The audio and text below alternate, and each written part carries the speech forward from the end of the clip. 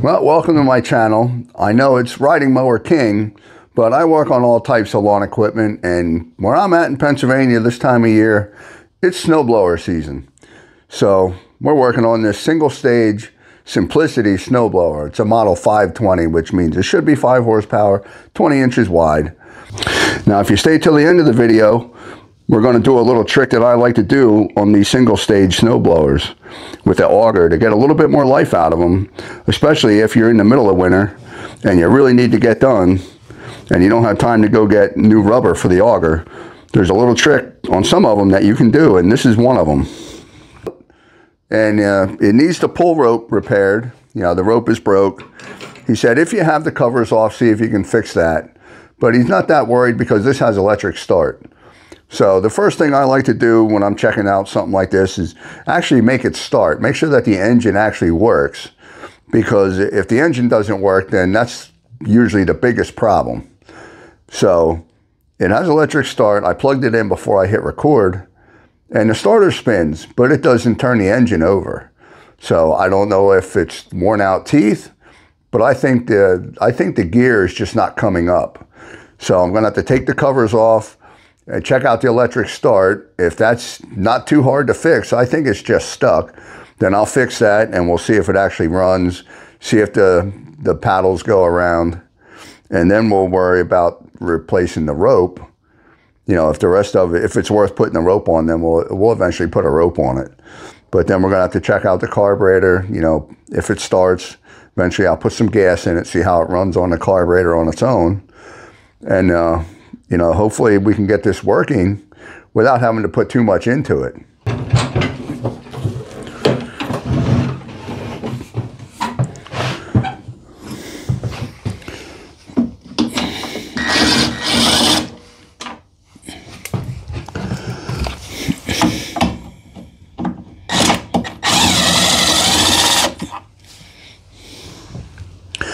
Now that's the only two screws I saw in this bottom cover.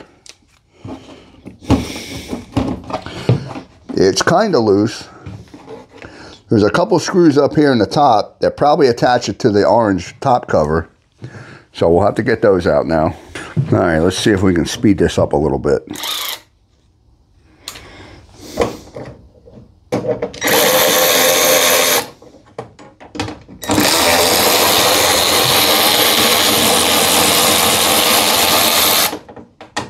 I figured this was going to be a challenge because it goes around the handle here. So it may be designed that all the service is done through the top cover. So it, it snaps in there. Now we'll take this cotter pin out, slide the handle out here.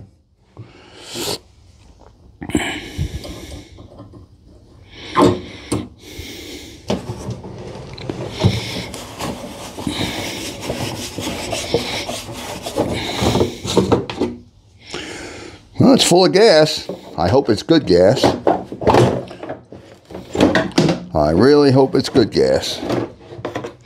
Well, we heard something fall there, and that was the shaft for the chute. For the chute control. Well, I can get to the carburetor. Can get to the starter. You can get to everything up here, pretty much. So that's good. Yeah, the starter's pretty rusty here. So I'm gonna I'm gonna bet that that's the problem. It just can't move. So here we can see starter's all rusty. This shaft right here. That's gonna be like uh, and that, that's gonna be the biggest problem. That, that that gear has to slide. When you when you hit the button, that shaft spins and the inertia pulls that gear in. And that's what lets it engage with the flywheel. And down here we can see the drive belt. And let's try the tensioner here. Well, that works. The belt gets tight. We'll do a quicker, uh, a more thorough inspection of that belt if we get it started here. One thing that's real important on these two-cycle snowblowers, and I have this happen a lot, is this throttle plate gets stuck because the gas will get gummed up in there you know, this has oil in it mixed in the gas and it gets gummy and uh, it's spring loaded open when it's just sitting. When you know when it's not doing anything, it's it's spring loaded open, and uh, if the gas gets gummy, it it's gets stuck open, and you could put gas in it, and maybe you get it started that it runs through the carburetor, but it runs at wide open throttle. So you have to make sure that this can turn. See, that's wide open, that's idle, that's all the way down. So you, you want to make sure that this is free, that it don't stick before you even try to start it. Um, otherwise, it's going to run really, really fast, and you may not notice it right away, but the engine it, it does not like that. It's not made to run that way. So that's something you always want to make sure. You, you know, sometimes you can reach in from the bottom, but you always want to make sure that that can move free. Otherwise, it's going to lead to problems. So we're going to spray this shaft with some PB Blaster. And I'll probably have to get a, a hammer and a punch and see if I can get that to move.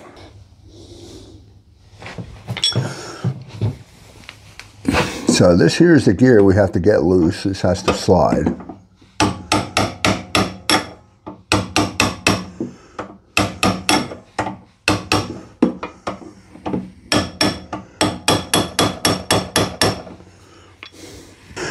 There's three mounting bolts for that bracket and it doesn't look like it's that easy to get to, so we'll try a little bit more at getting that loose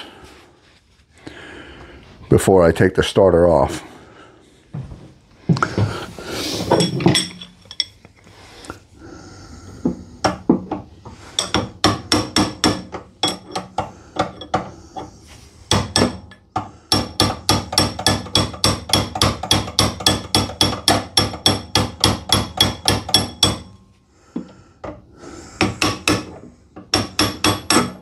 Starting to move.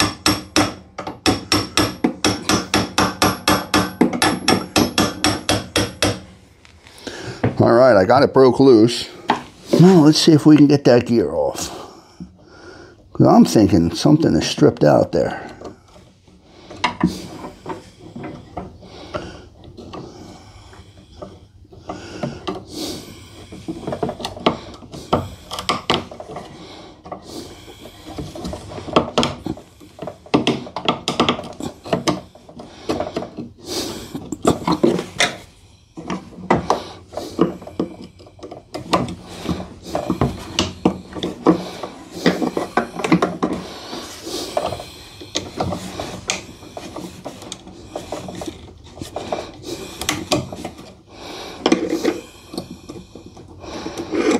So here's the clip I got off.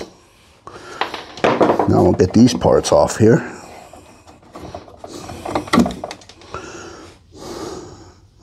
So there's the friction part.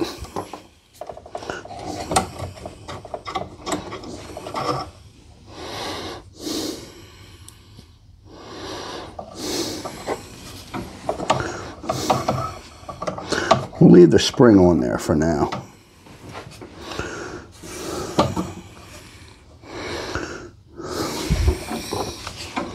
But one of these should have teeth. Ah, there we go. It's the washer at the outside that has the teeth on it. There's little teeth in there engaged with the with the, the shaft. For some reason, I was th thinking it was this, but it's not. It's actually this. This was still stuck. So we're going to wire brush that a little bit. This has to go in. This pulls in,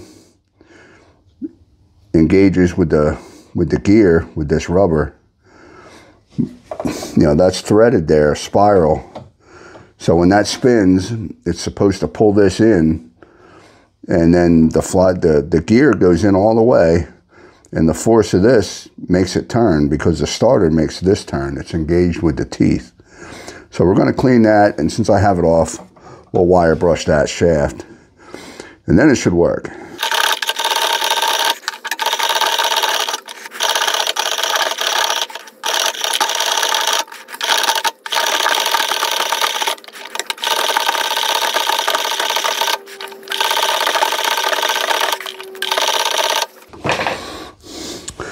So now this should be able to thread right on there. Eh, it gets a little hung up there.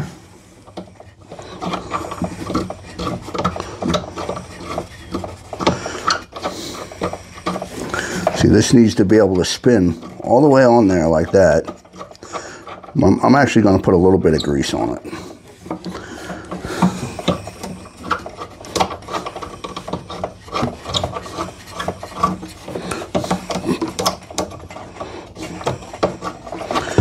If you have a small wire brush on a rotary tool, that would be great for right here. Because that, that spiral still has a little bit of rust on it yet.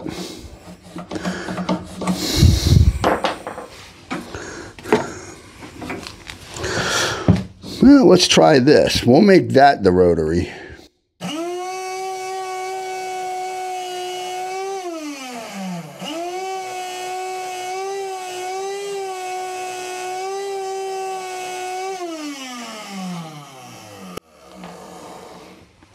Well, that looks better. Cleaned it up pretty good. Now that spins on there nice. All the way off the other end. Now I got to hold it to get it off. There we go. That's much better. So now this should just slide in and out real easy. Yep. Then we put on the rubber piece. Well, we're gonna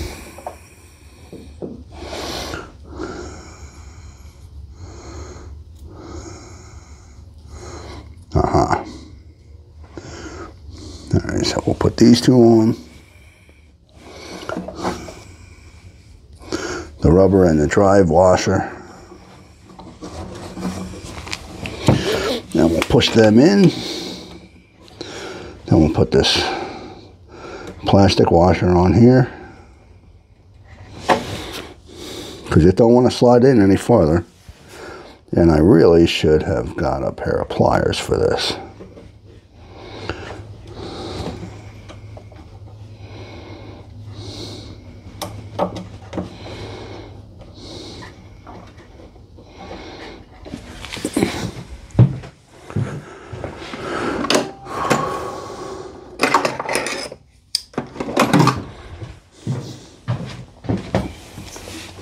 All right, now we'll this clip down on there.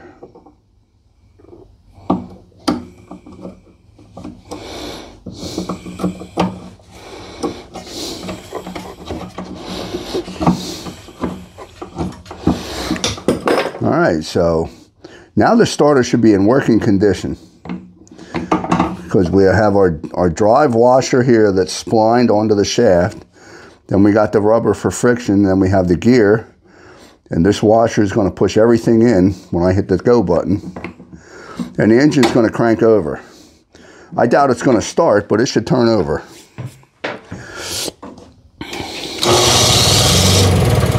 Oh, now it works. The engine actually turns over. And I have the choke on and I have the key on. So let's just see. Because there is gas in it.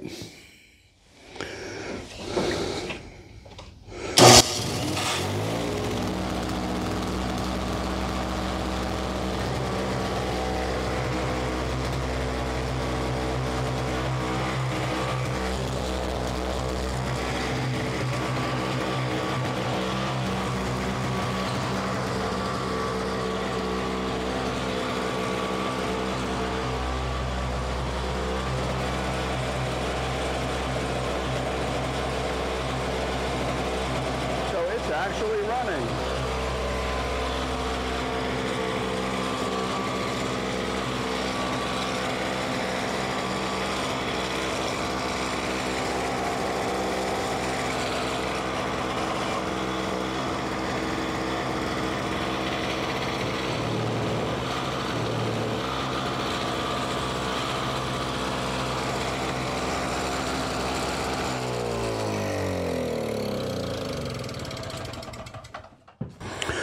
So there we can see it actually runs. It, it, runs good. Nice and smooth. It wasn't surging or anything like that. And the auger engaged. So this could potentially be an easy fix, which would be good because we need to try to keep the price down.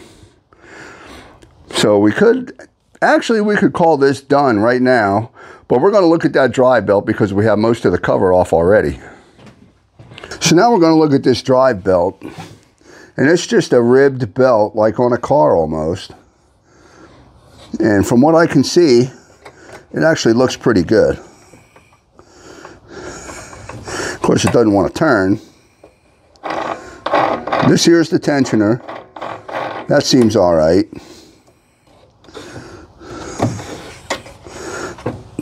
easiest way might be just to crank the engine to get the belt to go around. So we want to look at any damage on the belt. Yeah, the belt's got a little bit of wear, but we're going to let it go. We're going to lube up this shaft though. We're going to spray a little WD-40 in there. Uh, not the shaft, this cable.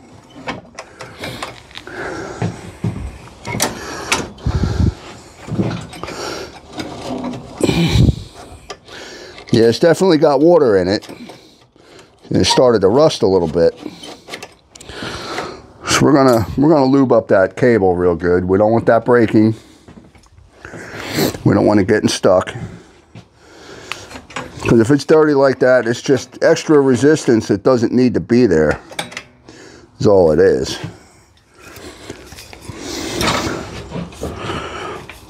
Let's uh start by putting some down the cable at the top. It would be real nice to spray it in the top here and have it come all the way out the bottom. It would be nice to spray it in the top of the housing here and have it come out the bottom, but that's, uh, can only get so much in here at one time.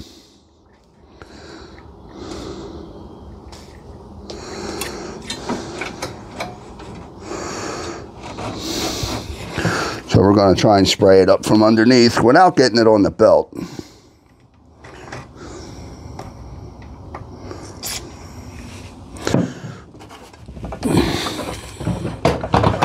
We spray it like that, it'll be downhill. It should should run down in the housing. And it is.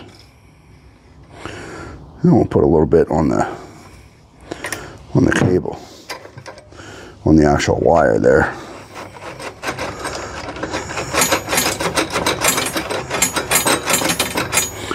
And we'll work it back and forth a little bit there.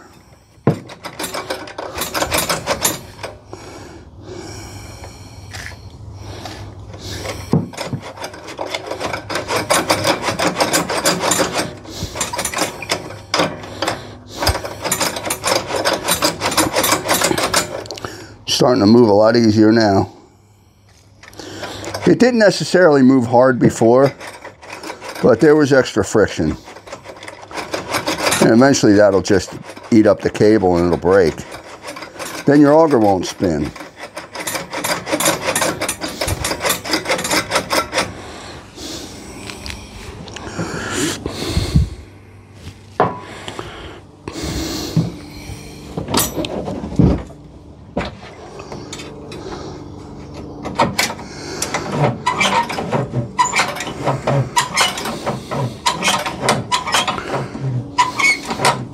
That's not bad, but it's really noisy.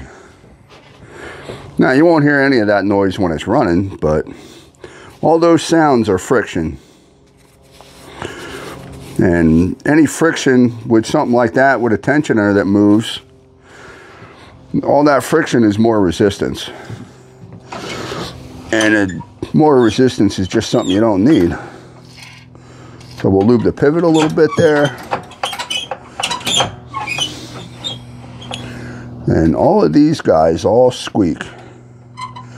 Anytime you got metal against metal, it just makes it squeak.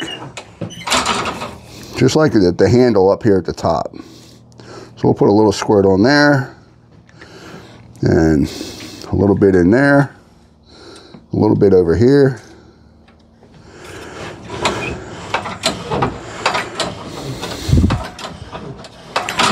And now it's getting pretty quiet.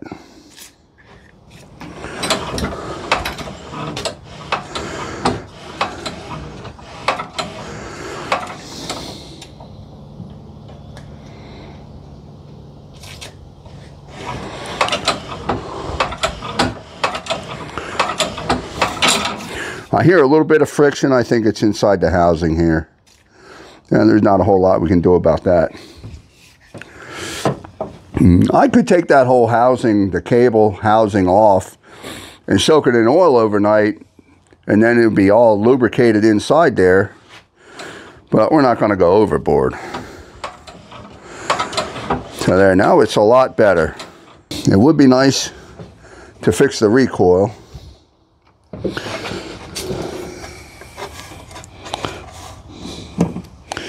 I see three screws up top. Maybe that's all it takes.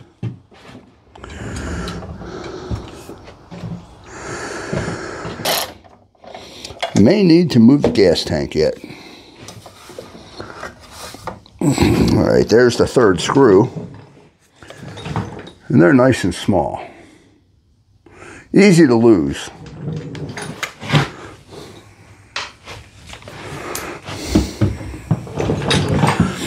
Now, get the cover off.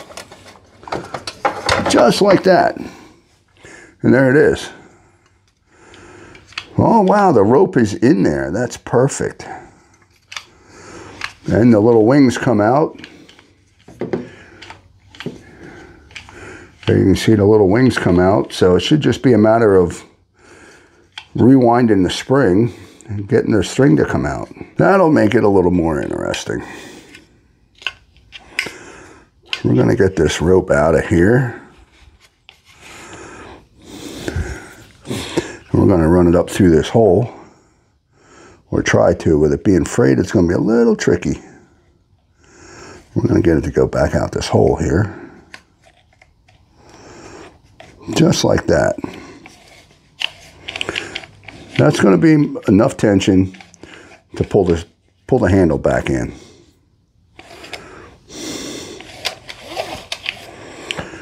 Now let's see what it looks like at the end. Yeah, from what I can see, it still looks good. Now, the reason we're checking right here, this is where the stress point is when the rope is out all the way.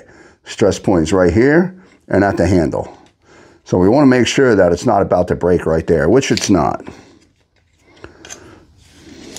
So we got that. Put the screwdriver in there to hold that like that so it doesn't rewind. Not that it matters that much. And that way we can thread this back through here.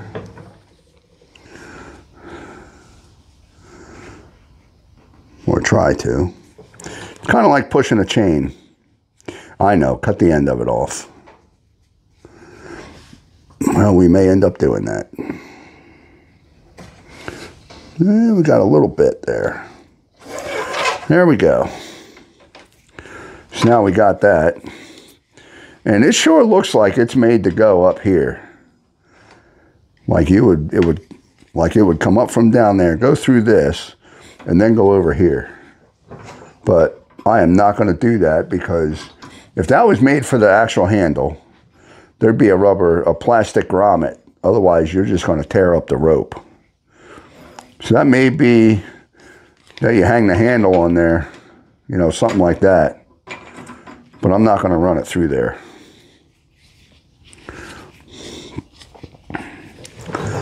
So now we're going to thread this back up through here. And then we tie a knot in it. Now there's a special way that they tie these knots. And uh, this video is not about knot tying. That actually really does look like the right knot. So that's what we're going to go with.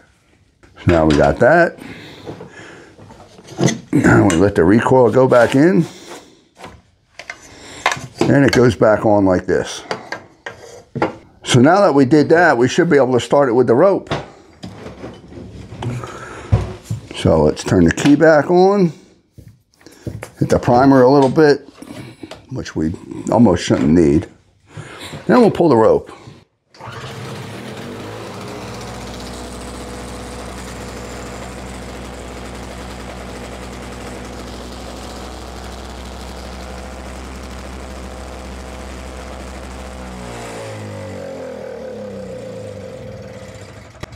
So there we go. She actually runs. But we are going to check the spark plug. Because since it burns oil, it might be fouled a little bit. So we're going to see, see if I can get it off with this socket. Yep, not all that tight.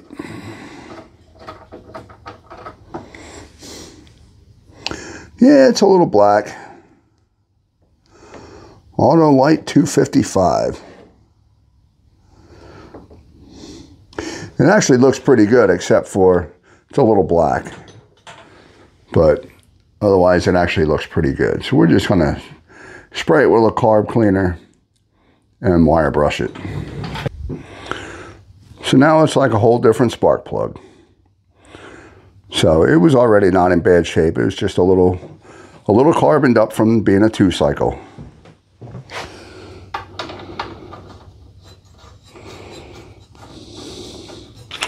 So now this is the part of the video that everybody's been waiting for. On these single stage snow blowers, this piece in the center here is what really throws the snow out the top. The sides here, they pull the snow blower along, they, they rub the ground, they help pull it along, and they work the snow into the center, in, into this part here. So this here is a wear area. The, these wear down, and this has wear on it, but it still it still contacts the ground underneath, and uh, it, it can be wore down pretty good. It's still going to pull snow in if you have three or four inches. It's going to pull it in. But what really makes these not work very well, when this centerpiece gets worn down, that it doesn't contact back here. Well, it, it needs to be real close to this. It doesn't actually need to contact it, but it needs to be really close. So as, as these wear down, it keeps going too far. As these wear down, it gets further away back here. The further away it gets, the more the snow just falls back behind it. So what we can do is that this is actually two-sided and this side is a little bit shorter than over here.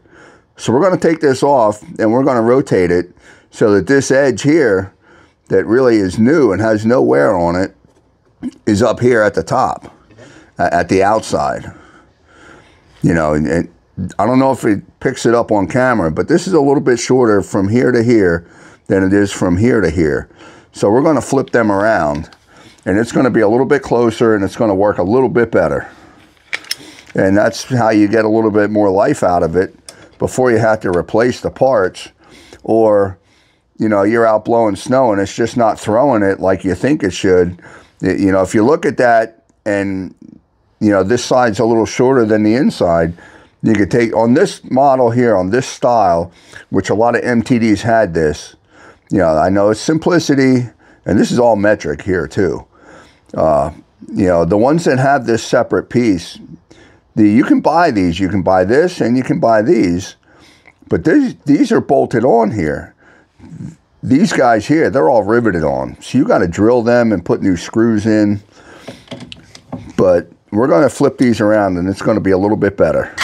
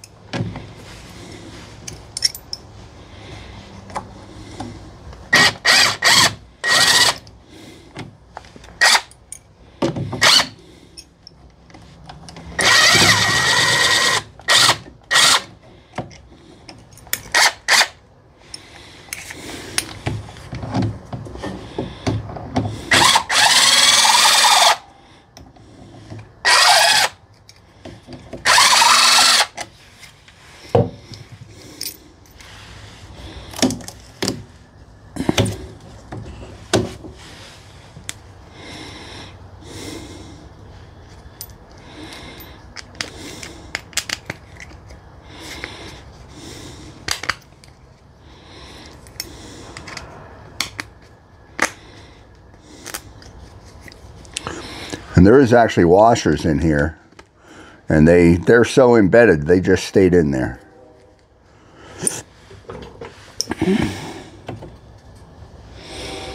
Now to get them back in, I had to pull them out. and they don't want to go back in right just because of the, the overlap with the other rubber. Not that they don't fit. It's just a, a tight fit.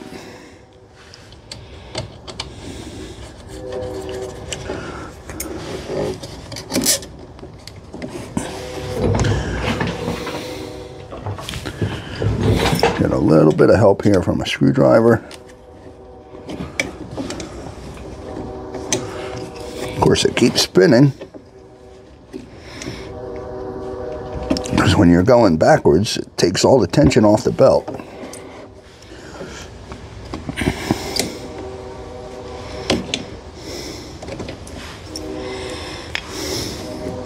So you would still have this situation here even if they were new. Just because of the interference fit.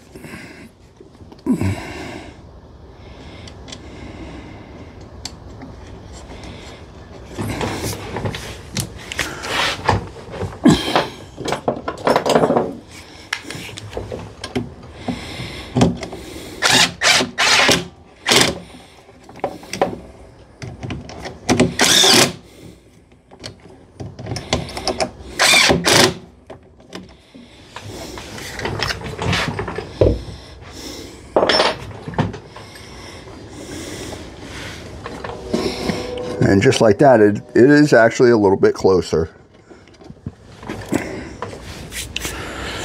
Get this camera in here and maybe we can see.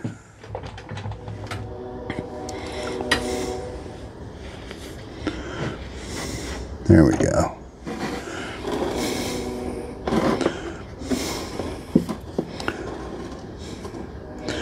It's going to be really, really hard to tell here.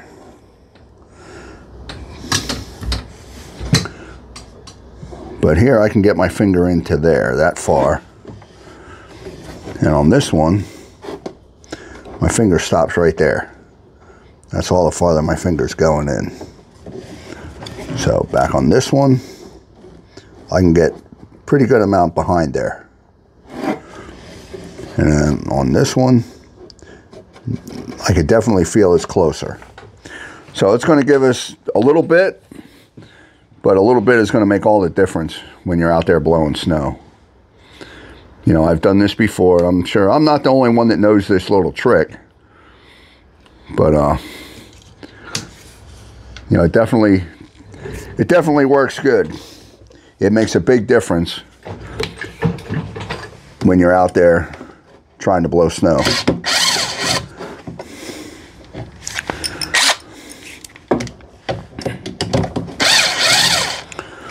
Because I've, over the years, I've had people that looked at these and, now, oh yeah, those things don't blow snow at all. They, they don't work any, at all. And then, you know, somebody else I talked to, they say, yeah, my neighbor has one of them. He throws that snow so far. You know, he uses that thing every year. It works really good.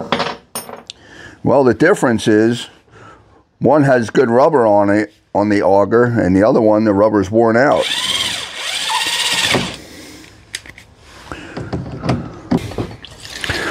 All right, this rotation of the chute has some resistance that I don't like. So we're going to spray this a little bit.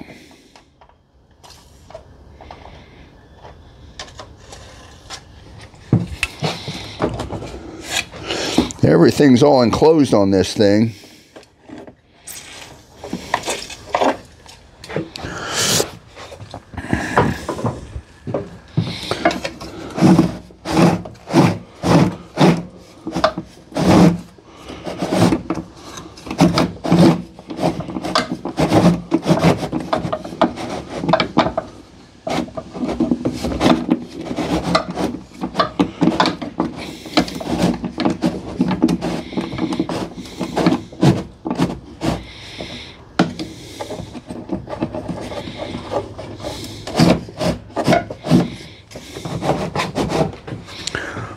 try a little bit more in here.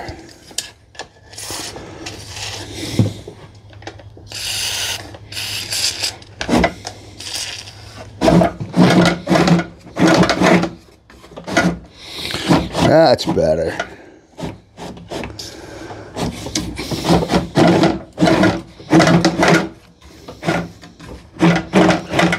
That's definitely better.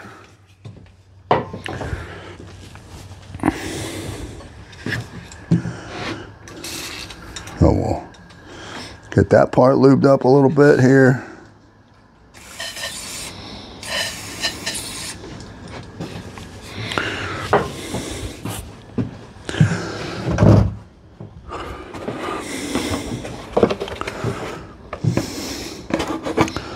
Now we gotta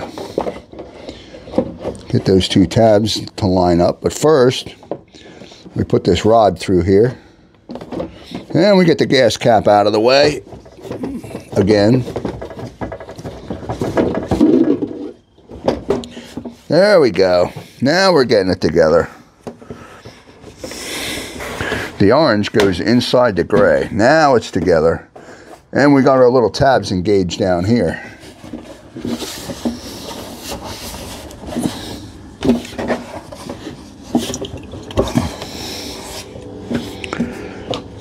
And we put our gas cap back on here.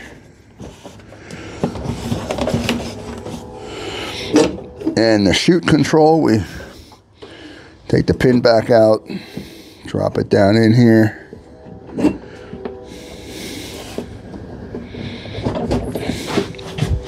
I think it's got to come out just a little bit here.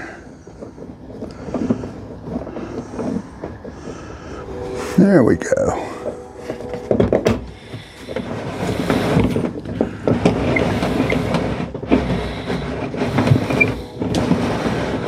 Now we got that. Got our handle coming out right there.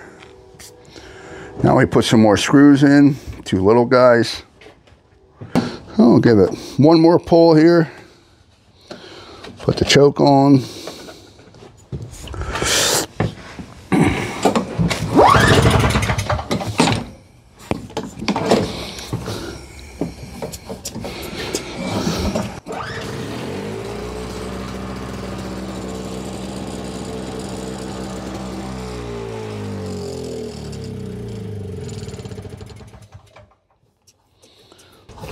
What happened there?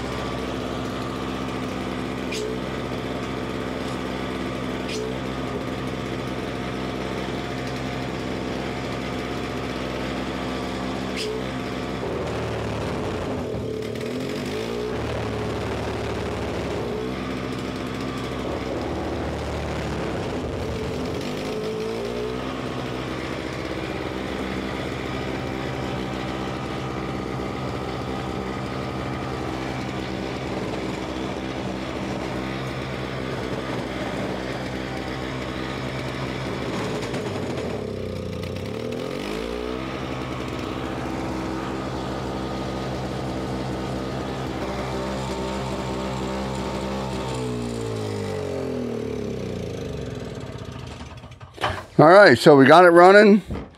And now we tested a little bit. We can actually put load on this one because of the auger drive.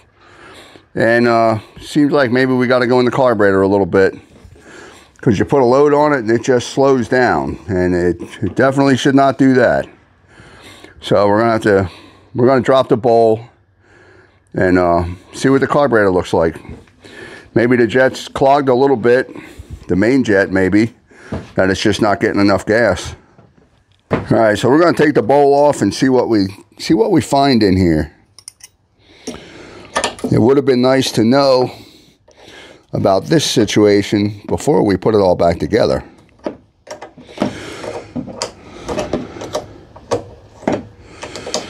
But I can get to the carburetor pretty good here, so hopefully I don't have to take any other covers off to get to this.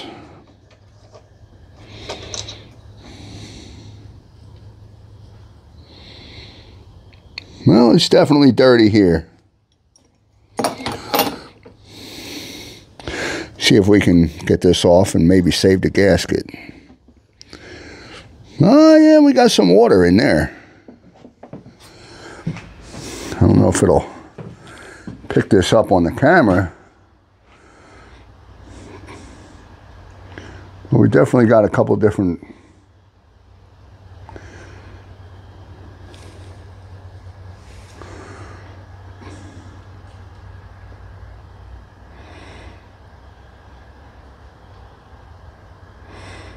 There you can see it's got a little bit of water in there. Got a couple different liquids going on in there.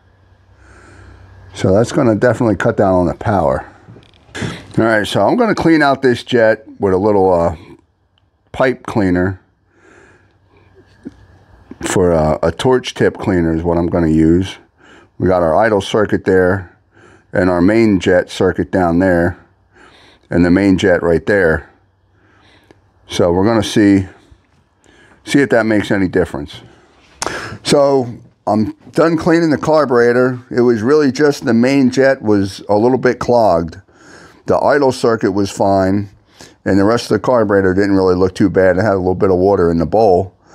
But, uh, so we're ready to try this out again. So it's going to start up, then I'm going to engage the auger, and it's going to be hitting the floor, so you're going to hear that. But you also should hear that the engine doesn't slow down. And when I let go, the, the engine should be running still at full speed instead of having to, to speed back up from being slowed down.